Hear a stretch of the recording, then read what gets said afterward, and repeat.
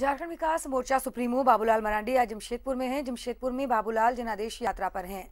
जहाँ वो जगह जगह सभा कर कार्यकर्ताओं को चुनावी मंत्र तो दे ही रहे हैं। साथ ही साथ सरकार पर निशाना साध जनता से वोट की अपील भी कर रहे हैं।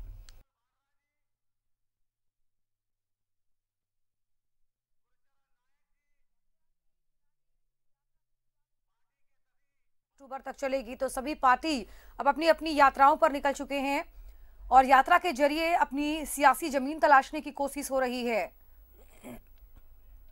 जमशेदपुर में जेवीएम सुप्रीमो बाबूलाल मरांडी अपनी जनादेश यात्रा के साथ निकले। उनके साथ जेवीएम के नेता और कार्यकर्ता भी मौजूद रहे और जनता से सीधे मिल रहे हैं और उनकी समस्याओं को जानने समझने की कोशिश की जा रही है।